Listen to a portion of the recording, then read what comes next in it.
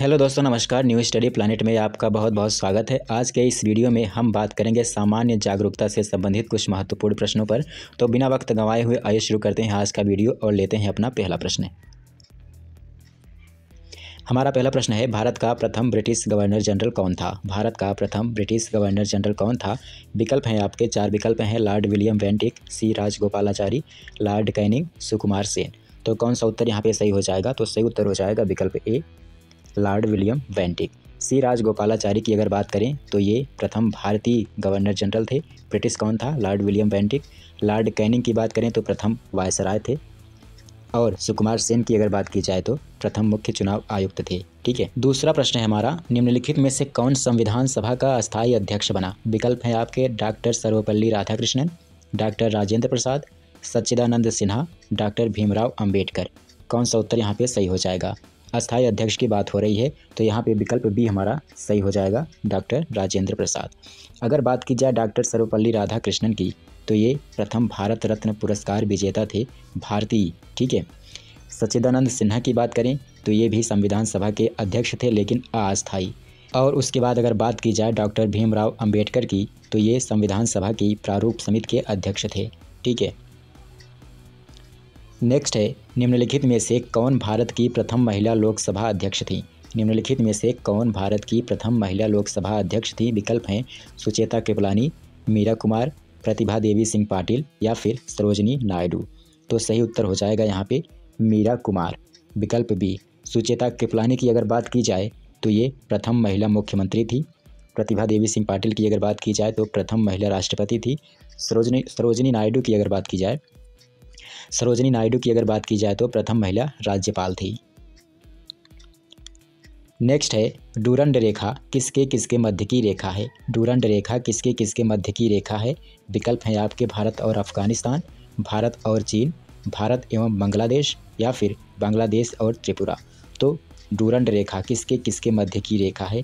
तो सही उत्तर हो जाएगा भारत और अफ़गानिस्तान के बीच की। भारत और चीन के बीच की रेखा को क्या कहते हैं? मैकमोहन रेखा कहते हैं। भारत एवं बांग्लादेश के बीच की रेखा को क्या कहते हैं? रेड क्लिफ रेखा कहते हैं और बांग्लादेश और त्रिपुरा के बीच की रेखा को क्या कहते हैं? शून्य रेखा कहते हैं, ये भी आप जानते रहिए। नेक्स्ट है, राष्ट्रीय महिला आयोग की प्रथम महिला अध्यक्ष कौन थी? राष्ट्रीय महिला आयोग की प्रथम महिला अध्यक्ष कौन थी? बचेंद्री पाल किरण बेदी, जयंती पटनायक या फिर अन्ना चंडी। तो कौन सा उत्तर यहाँ पे सही हो जाएगा? तो सही उत्तर हो जाएगा विकल्प सी, जयंती, पटनायक।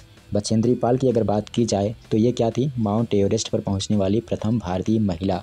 किरण बेदी की बात की जाए तो प्रथम महिला आईपीएस। और अन्ना चंडी की अगर बात की जाए तो प्रथम महिला न्यायाधीश थी।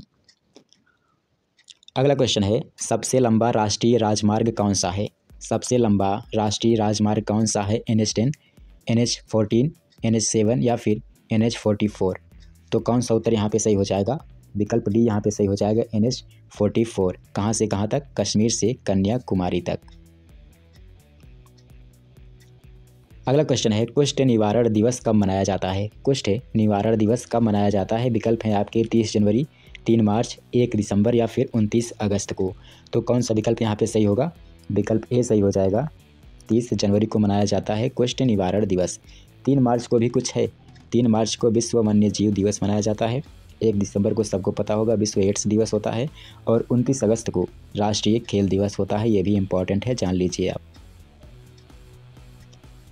नेक्स्ट है, निम्नलिखित में से कौन सा मंदिर अमृतसर यानी पंजाब में है? विकल्प हैं आपके स्वर्ण मंदिर, जगन्नाथ मंदिर, कोणार्क मंदिर और लक्ष्मण मंदिर। कौन सा मंदिर अमृतसर में है? तो यहाँ पे कौन सा विकल्प सही हो जाएगा? तो सही उत्तर हो जाएगा यहाँ पे स्वर्ण मंदिर।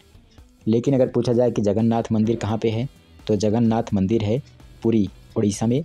कोणार्क मंदिर ये भी वहीं पे है, पुरी में, उड़ीसा में। और लक्ष्मण मंदिर कहाँ है तो ये है छतरपुर, मध्य प्रदेश में। अगला क्वेश्चन है हमारा एशियाई विकास बैंक का मुख्यालय कहाँ पर है? एशियाई विकास बैंक का मुख्यालय कहाँ पर है? विकल्प है आपके दिल्ली, मनीला, काठमांडू या फिर कोलंबो। कहाँ पे है? तो सही उत्तर हो जाएगा यहाँ पे, विकल्प बी मनीला। मनीला कहाँ पे है? फिलीपींस में है। स्थापना कब हुई थी? उन्नीस कब हुई थी? उन्नीस में। नाइनटी सिक्सटी सेवन में स्थापना हुई थी किसकी? एशियाई विकास बैंक की। मुख्यालय कहाँ पे है इसका? एशियाई विकास बैंक का मनीला में है, जो कि किस देश में है? फिलीपींस में है। अगला है, भारत के राज्यों में सबसे लंबी तटरेखा किस राज्य की है? भारत के राज्यों में सबसे लंबी तटरेखा किस राज्य की है? गुजरात, मुंबई, केरल या फिर आंध्र प्रदेश? कौन सा उत्तर सही हो जाएगा? तो यहाँ पे जो सही उत्तर हो जाएगा, गुजरात। विकल्प ए, भारत के राज्यों में सबसे लंबी तटरेखा की अगर बात की जाए तो गुजरात की जो तटरेखा है सबसे लंबी है। नेक्स्ट है, केनबरा किस देश की राजधानी है? केनबरा किस देश की राजधानी है? विकल्प हैं आपके, न्यूजीलैंड, ऑस्ट्रेलिया, कनाडा या फिर डेनमार्क। कहाँ की है कैनबरा राजधानी है, ऑस्ट्रेलिया की विकल्प बी यहाँ पे सही हो जाएगा। न्यूजीलैंड की राजधानी कहाँ पे है? तो उत्तर हो जाएगा वेलिंगटन, कनाडा की राजधानी ओटावा और डेनमार्क की राजधानी कोपेनहेगन। नेक्स्ट है, प्रथम परमवीर चक्र विजेता कौन था? प्रथम परमवीर चक्र विजेता कौन था? विकल्प है आपके श्री शंकर कुरूप सोमनाथ शर्मा, राकेश शर्मा या फिर मानिक शाह। क्या हो जाएगा यहाँ पे? यहाँ पे जो सही उत्तर हो जाएगा, विकल्प भी हो जाएगा सोमनाथ शर्मा। श्री शंकर कुरूप की अगर बात की जाए तो ये प्रथम ज्ञानपीठ पुरस्कार प्राप्त भारतीय थे। राकेश शर्मा की अगर बात करें तो अंतरिक्ष में जाने वाले प्रथम व्यक्ति थे भारत के, और मानिक शाह की अगर बात करें तो प्रथम फ़ील्ड मार्शल थे। अगला क्वेश्चन है, निम्नलिखित में से कौन सा सुमेलित नहीं है? विकल्प हैं आपके, राष्ट्रीय महिला आयोग की प्रथम महिला अध्यक्ष जयंती पटनायक थी भारत रत्न से सम्मानित प्रथम महिला इंदिरा गांधी थी। ज्ञानपीठ पुरस्कार से प्राप्त प्रथम महिला आशा पोड़ा देवी थी, या फिर प्रथम भारतीय मिस यूनिवर्स रीता फारिया थी। तो दोस्तों, यहाँ पे पूछा है कि निम्नलिखित में से कौन सा सुमेलित नहीं है। तो राष्ट्रीय महिला आयोग की प्रथम अध्यक्ष महिला में जयंती पटनायक सही है। भारत रत्न से सम्मानित प्रथम महिला इंदिरा गांधी थी, ये भी सही है। ज्ञानपीठ पुरस्कार प्राप्त प्रथम महिला आशा पोड़ा देवी, ये भी सही है। प्रथम भारतीय मिस यूनिवर्स, ये सही नहीं है। यहाँ पे रीता फारिया नहीं बल्कि सुष्मिता सेन होगा। ठीक है? अगला क्वेश्चन है, निम्नलिखित पुस्तकों और उनके लेखकों में कौन सुमेलित नहीं है? निम्नलिखित पुस्तकों और उनके लेखकों में कौन सुमेलित नहीं है? Rabindranath Tagore, Gitanjali, Salman Rushdie, midnight children, Shashi Tharoor, pax India smile, Kiran Desai on my turns. तो यहाँ पे पूछा है कि कौन सुमेलित नहीं है। रविंद्रनाथ टैगोर की रचना है, गीतांजलि, ये भी सही है।